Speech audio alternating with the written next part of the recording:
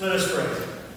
Gracious God, your Son gave his life that we might come to peace with you. Give us a share of your Spirit, and in all we do, empower us to bear the name of Jesus Christ, our Savior and Lord. Amen. Please be seated. Okay, there's usually a big long explanation of the, the next reading. I have no clue, um, since I'm the last substitute. But I love it when they have this PowerPoint presentation. It's more meaningful for me when there's an introduction and we kind of put it in perspective. So let's hear the reading from Esther, which is the play that we never did get to see down at uh, Sight and Sound. I believe they're still doing it, or they are doing it. So maybe we can get a, a bus trip, road trip, Sid. The first reading is from Hearts of Esther. King Ahasuerus and Haman went in to feast with Queen Esther. On the second day, as they were drinking wine, the king again said to Esther, What is your petition, Queen Esther? It shall be granted you. And what is your request? Even to the half of my kingdom it shall be fulfilled.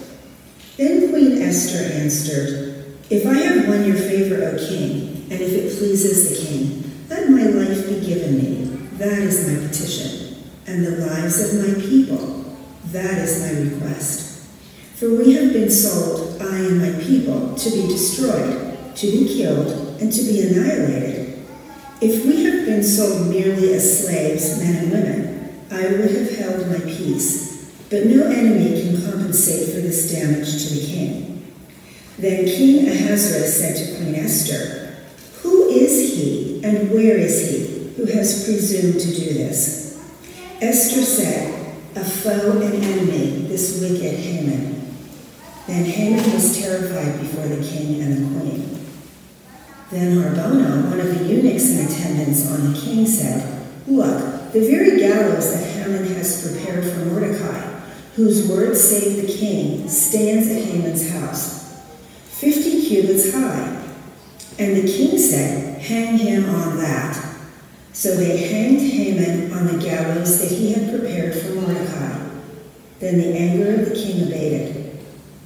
Mordecai recorded these things and sent letters to all the Jews who were in all of the provinces of King Ahasuerus, both near and far, enjoining them that they should keep the fourteenth day of the month Adar, and also the fifteenth day of the same month year by year, as the days on which the Jews gained relief from their enemies, and as the month that had been turned for them from sorrow into gladness, and from mourning into a holiday, that they should make them days of feasting and gladness, days for sending gifts of food to one another and presents to the poor.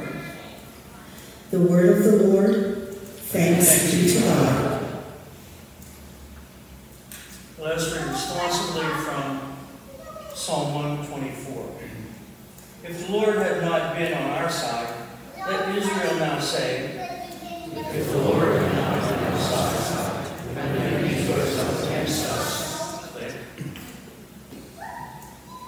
then would they have swallowed us up alive in their fierce anger toward us.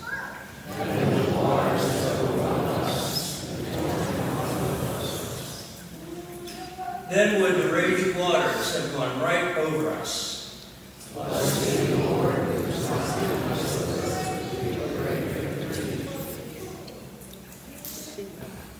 have escaped like a bird from the snare of the fowler. The snare is broken, and we have escaped.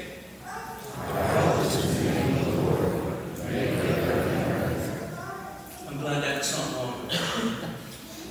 Let's hear Joan read our second reading from James. The second reading is from parts of the fifth chapter of James. Are any among you suffering? They should pray. Are any cheerful? They should sing songs of praise. Are any among you sick? They should call for the elders of the church and have them pray over them, anointing them with oil in the name of the Lord. The prayer of faith will save the sick, and the Lord will raise them up. And anyone who has committed sins will be forgiven. Therefore, confess your sins to one another and pray for one another so that you may be healed. The prayer of the righteous is powerful and effective. Elijah was a human being like us, and he prayed fervently that it might not rain. And for three years and six months it did not rain on the earth. Then he prayed again, and the heavens gave rain, and the earth yielded its harvest. My brothers and sisters, if anyone among you wanders from the truth and is brought back by another, you should know that whoever brings back a sinner from wandering will save the sinner's soul from death and will cover a multitude of sins. This is the word of the Lord. Thanks be to God. Let's take a vote. Should I read the gospel from here, or should I go to the pulpit and read the gospel like a real ordained person? Thank you.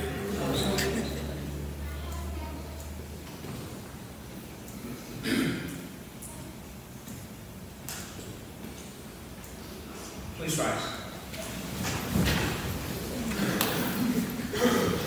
Hallelujah.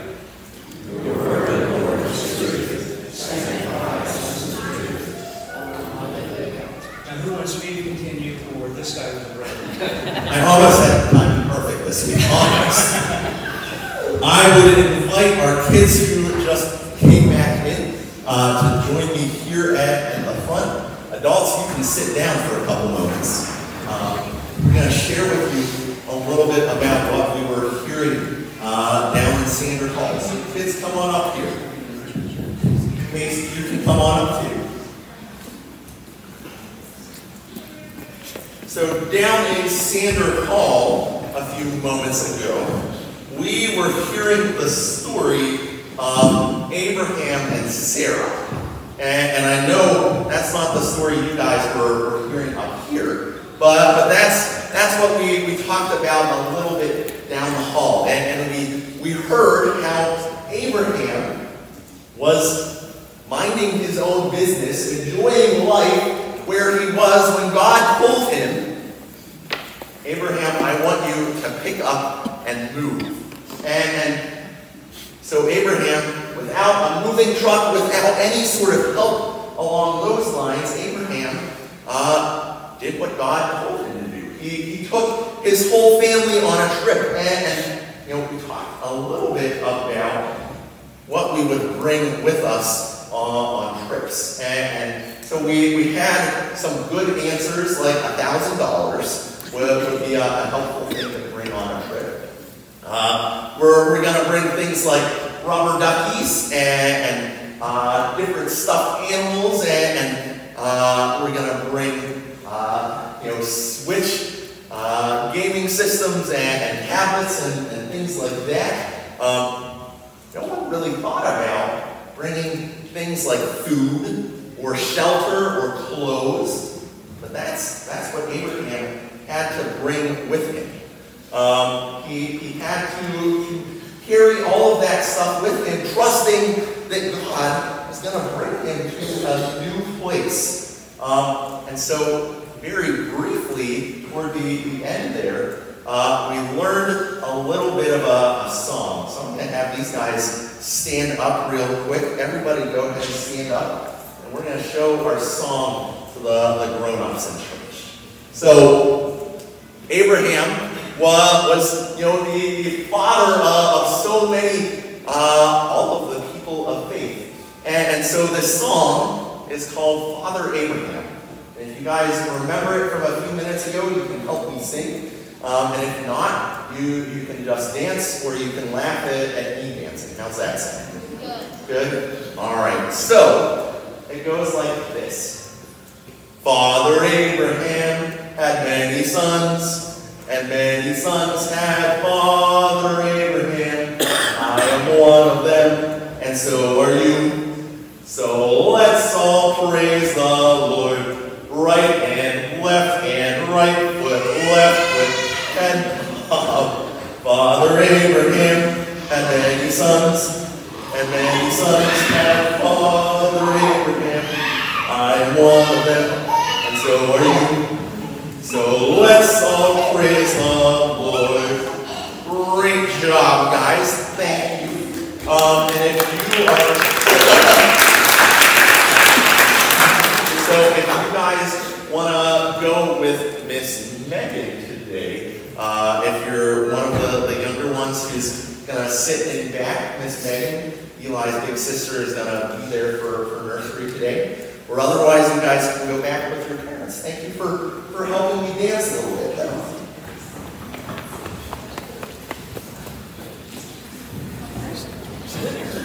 And now I invite you to resume standing uh, as we prepare to hear the gospel today.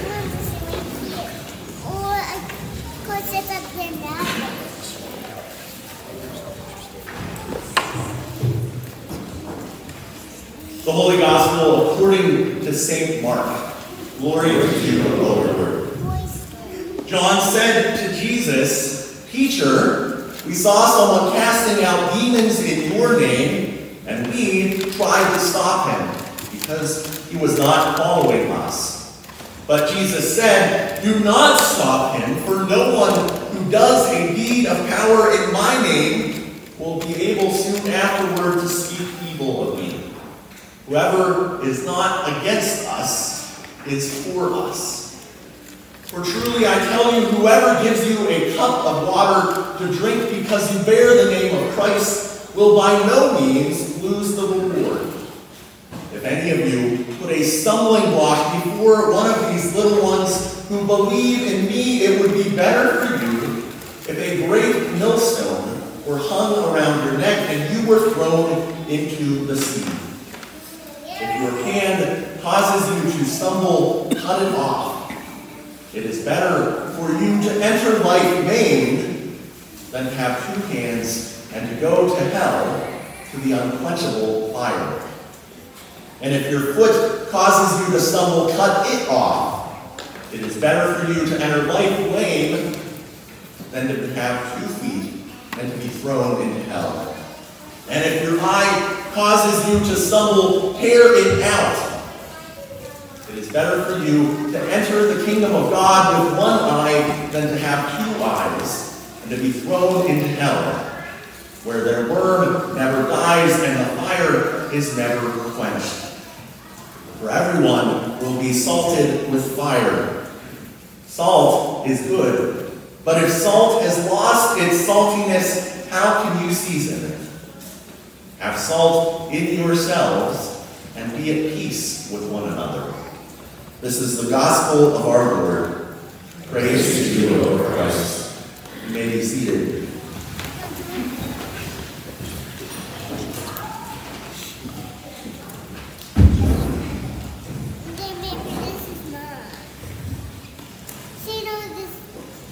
Grace, mercy, and peace to you from Christ Jesus our Lord, who is always for us. Amen.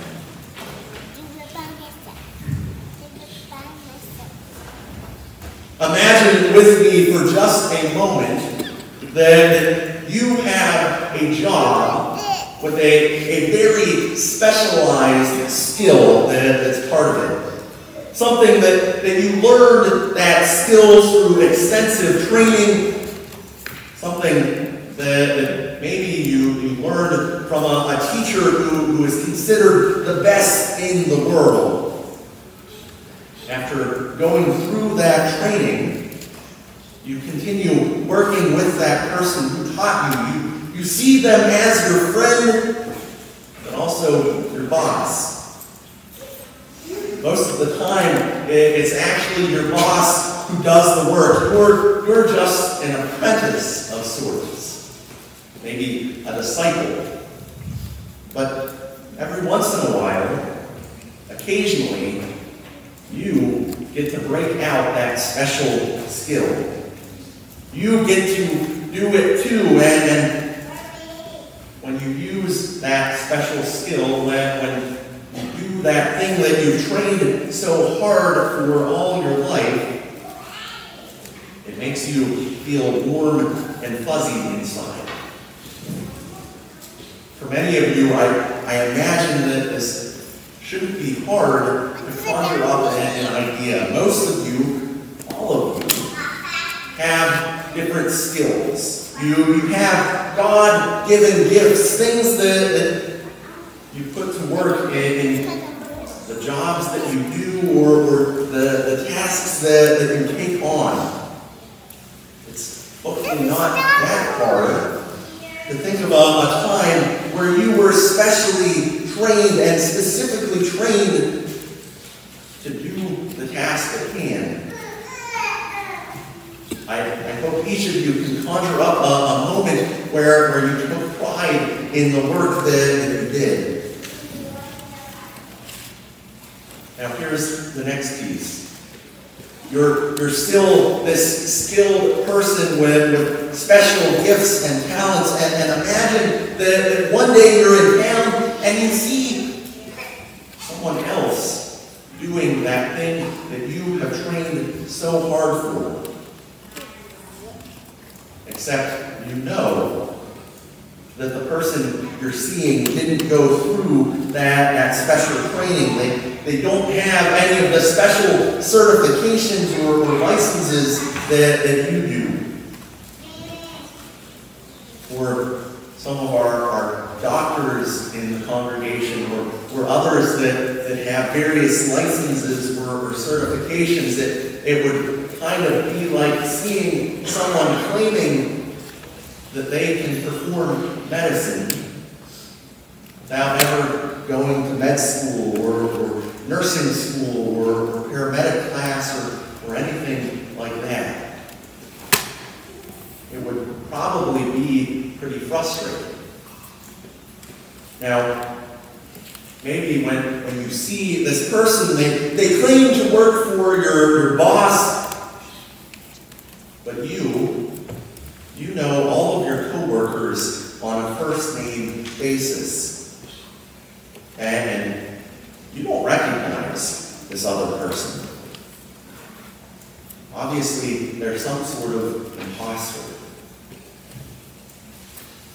Now, again, depending on what sort of job we're, we're talking about, this might be more alarming for, for some than others. I, I already mentioned our, our healthcare workers. They, they probably wouldn't want someone dressing up in scrubs and walking into the hospital or, or doctor's office claiming to know what they're talking about. It, it would be an issue similarly if, if someone bought an old school bus and, and started driving routes uh, around town and, and picking up kids. It, it would be an issue eh, if someone claimed that they had the skills and the training to be a tax accountant. I I pay good money to an, an accountant every year to, to figure out my taxes because I, I know I wouldn't be able to handle them on my own. According to the disciples in today's gospel lesson, it's an issue when, when someone starts going around claiming to have the power to do exorcisms when that person isn't one of the twelve. In, in today's gospel, the, the disciples are, are concerned, they're worked up, they're, they're afraid and angry and mad because there's someone else who, who is casting out demons in Jesus' name. He's, he's not one of the known disciples, and, and clearly, at least in their opinion, he must be an impostor who is breaking that commandment about taking the Lord's name in vain. They're enraged. They're angry. And for anyone who, who's ever had kids or, or worked with, with kids, they, they look like your average elementary or middle school tattletale. They, they run to Jesus telling him uh, about this horrible person who's doing exorcisms and, and, is not one of the disciples. And they go and tell Jesus, expecting him to be so incredibly angry and outraged. And Jesus says, Don't stop And imagine how frustrating that could be as a disciple. When you're all worked up uh, about this person claiming to be someone that you think that they are not, when you're, you're so angry. And Jesus says, don't stop. Ignore it.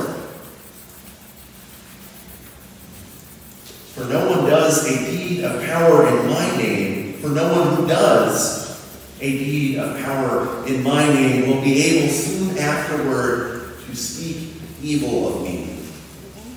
Whoever is not against us is for us, for truly I tell you, whoever gives you a cup of water to drink because you bear the name of Christ will by no means lose the reward. When, when you hear those words, I, I hope that, that it maybe turns the idea of power upside down for you. Yogi Berra was, you know, the, famous baseball player. And, you know, he, he was known for no-nonsense, common-sense sayings. And, and I, I imagine him saying, if they're not on the other team, they're playing for us. Whether or not the, the disciples accepted what Jesus was saying at that point in time, sooner or later, had to have realized that he might have been onto something. Even in, in, those earliest days of the church, even when they, they still had Jesus right there with them to, to teach them uh, about the ways of God and faith, there was still a lot of diversity of opinion. There was diversity of practice. And the disciples had to realize that, that while certainly there are some people who are against us, there really are a lot more who are playing on our team. I, I think in what Jesus was saying, he, he was trying to remind the disciples that, that are irrelevant when it comes to things like healing the children of God. It, it's not the, the important thing of, of what church you, you belong to, not the, the structures of the church, but, but rather proclaiming the gospel message, sharing the good news of Jesus that died and was resurrected for our sins. A while ago, just last week actually, our, our new bishop in the Allegheny Synod was, was installed in uh, a church service in, in Altoona.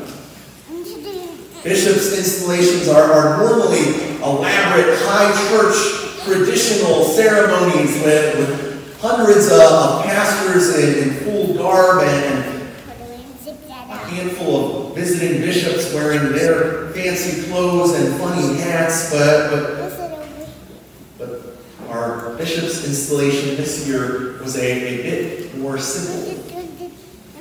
It, was closed to only invited guests to, to limit the number of attendants uh, out of COVID concerns.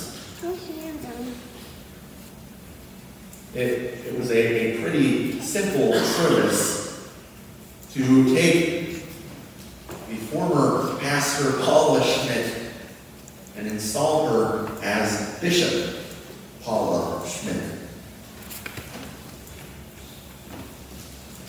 thing is, all of that elaborate pomp and circumstance, all of that fancy church service, the, the parade uh, of pastors processing and recessing, none of that is actually necessary. Because as much as we, we all may love the, the tradition of various parts of the liturgy. As much as we, we may enjoy hearing Dan make that, that organ sing. That's not what the church is all about.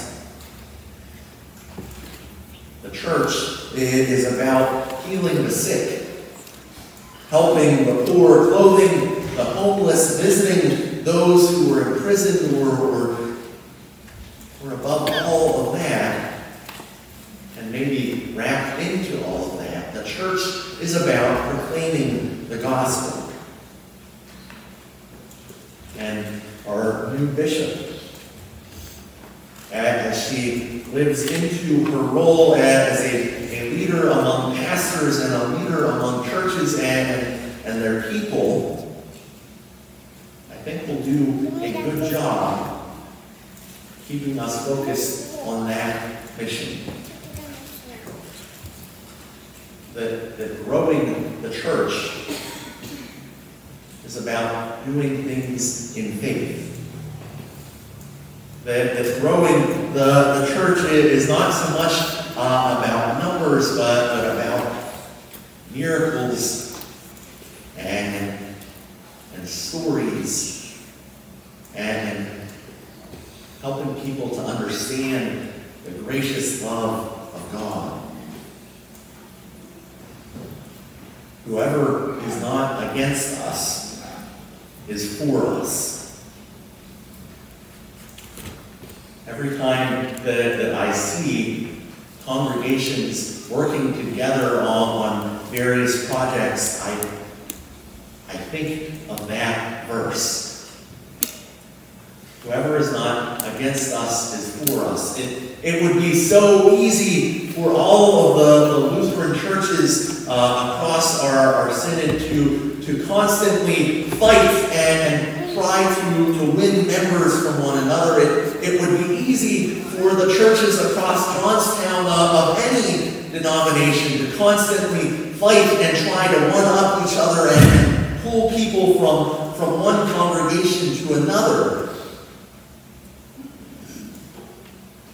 But sometimes we just need to remember that one verse, whoever is not for us, or whoever is not against us, is for us. Even though we as Lutherans put our, our own special flavor on, on, being church, I hope we, we can all admit that the, the gospel is preached in all those other churches too. And sure that, that some of you may spend your, your time throughout the week reading devotions that, that are printed and written by people of other traditions. Maybe you, you tune in to some of the, the other church services available on, on cable access, or, or you listen to podcasts or, or videos on, on your computer. You, hear some of those other faith perspectives. It helps you grow. I think we, we can all agree that a good number of the messages that, that we might hear from other faith traditions, other denominations, other churches, other pastors can be just as relevant us sometimes. So, last week I, I shared during the children's sermon the, the story of our, our new puppy, and I, I talked about how puppies are, are not just small adults, and babies are not just small adults. They're, they're children who need nurturing. Jesus speaks a bit to that again today, too. When, when he says uh, about putting stumbling blocks in front of small ones. Anyone who is not against us is for us. Anything we can do to clear the path of other people toward hearing and knowing the God that we love so much is doing the work of the gospel.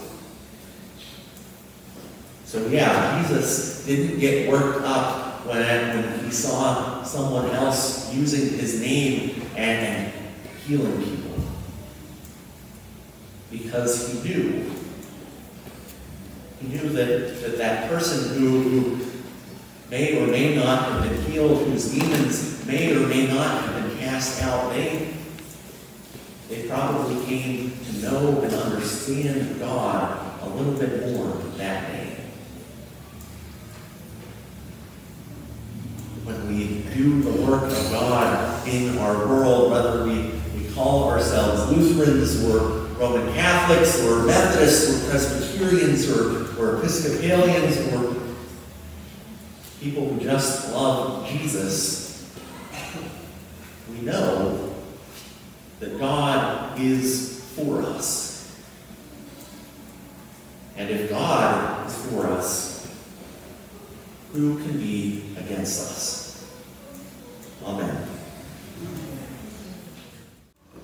Made as children and heirs of God's promise, we pray for the church, the world, and all in need. We pray for the church and its ministry.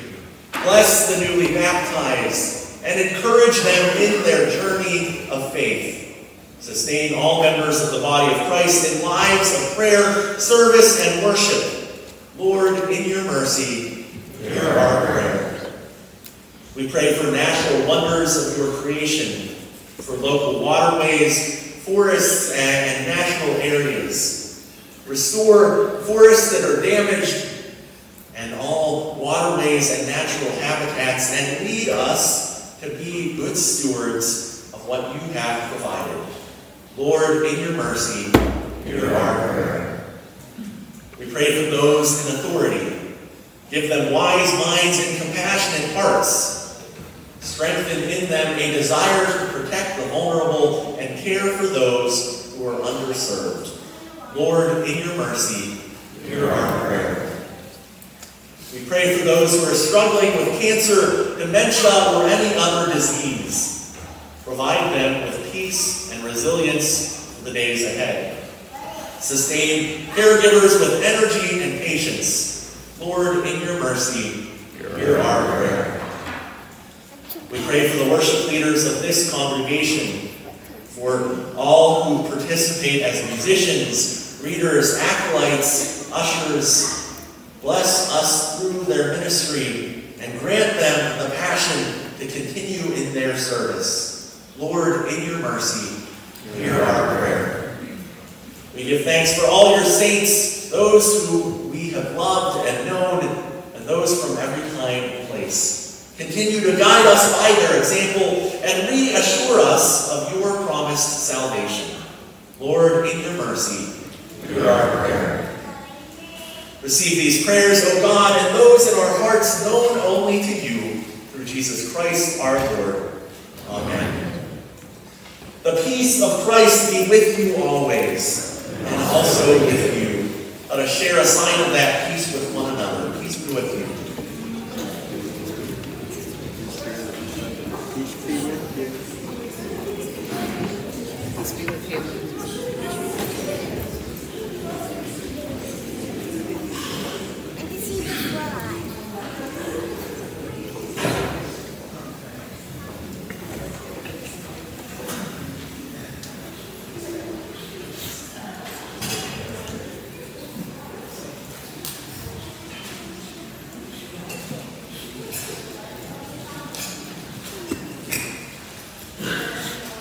Few announcements to share with you all this morning.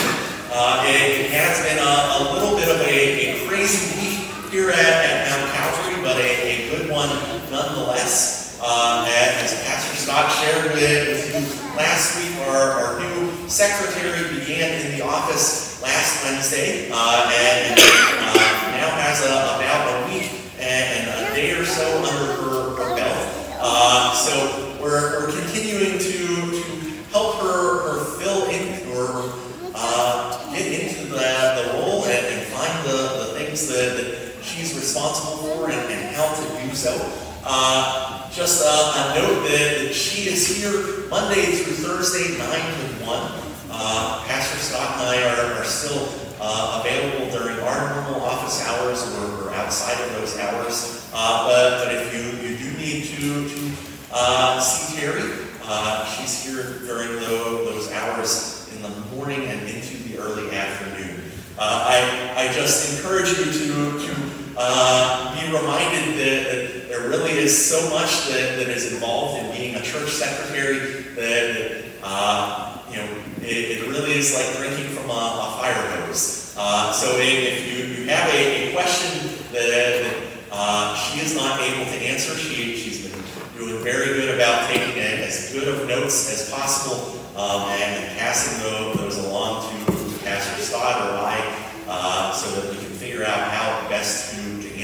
questions uh, or, take care of those concerns. Uh, also, this week, uh, our worship PowerPoint for the, the first time was, was put together by uh, a new member of, of, the team, Erin Powell, uh, who is the, the daughter of Noel Berkey, who normally attends on, on Saturday evening.